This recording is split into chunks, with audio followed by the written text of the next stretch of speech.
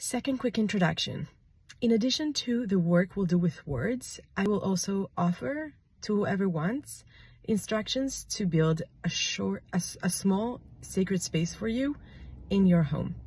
Um, I do it with color. Color is also um, something that works with a frequency. It's a, a wavelength.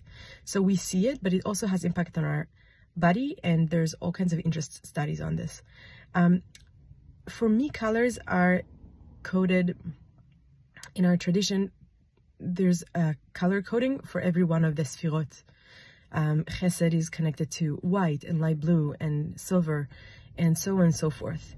Um, for me, I feel that having a little visual reminder in my house, for example, a tablecloth in that color or a bunch of flowers in that color, really helps me come back to center all the time and remember what is it that I'm trying to work on this week. So I'm going to give also a short intro to the color of the week and um, to kind of like how I play with it with flowers or other colorful things and invite you to also set for yourself not only time to do some work with the words but also time to to build for yourself a little visual reminder that makes the house just um, a little more welcoming and intentional for us um, so looking forward to sending that out to you too.